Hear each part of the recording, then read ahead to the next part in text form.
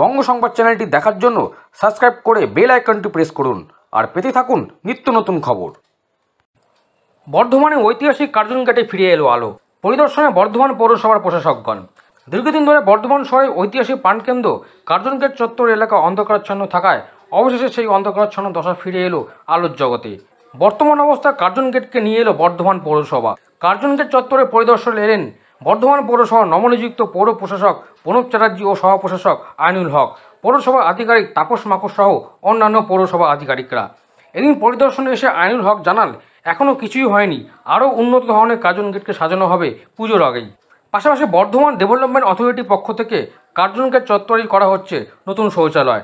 নির্মিত শৌচাগারও পরিদর্শন করে দেখেন পৌরসভার আধিকারিকরা। আমাদের ট্রেড সেন্টার আর একটা হচ্ছে আমাদের হচ্ছে লাইফ লাইন এখান দিয়ে মানুষরা আসেন। স্থায়ীভাবেই এই এলাকাটাকে আমরা কীভাবে সাজিয়ে তুলতে পারি তার একটা পরিকল্পনা নিয়ে আমরা এগোচ্ছি। হ্যাঁ? অবহেলিত অবস্থায় ছিল। একটা হেরিটেজ বর্ধমানের একটা হেরিটেজ উনিশশো পাঁচ সালে তৈরি। সেই জিনিসটাকে নতুন করে সংস্কার করাই আছে কিন্তু এর মধ্যে যেসব গাছপালা হয়েছে ওটাকে উড়িয়ে দিয়ে ওটাকে পুরো বিউটিফিকেশন করার একটা পরিকল্পনা আমরা ভেবে নিয়েছি। সেটা আমরা অপারেট করব অ্যাজ আর্লি অ্যাজ পসিবল সেটার জন্যই ভাবনা চিন্তা চলছে। আপাতত এখন লাইট লাগানো আপাতত কেন এটা লাইটটা ছিল যে লাইটটা কেন জ্বলতো না আমরা জানতাম না।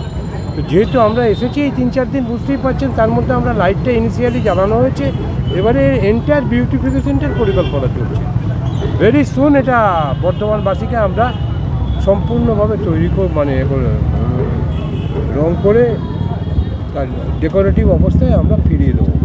জিরোর আর বেশি এখানে আমাদের যে নব পৌর বোর্ড হয়েছে, তার চেয়ারপারসন যিনি এবং ভাইস চেয়ারপারসন যিনি, তিনি এখানে এসেছিলেন। তাদের মতে এটা যেহেতু বর্ধমানের হেরিটেজ সেই জন্য এটা আলোকায়নের ব্যবস্থা আমাদের পৌরসভা থেকে খুব দ্রুত করতে হবে।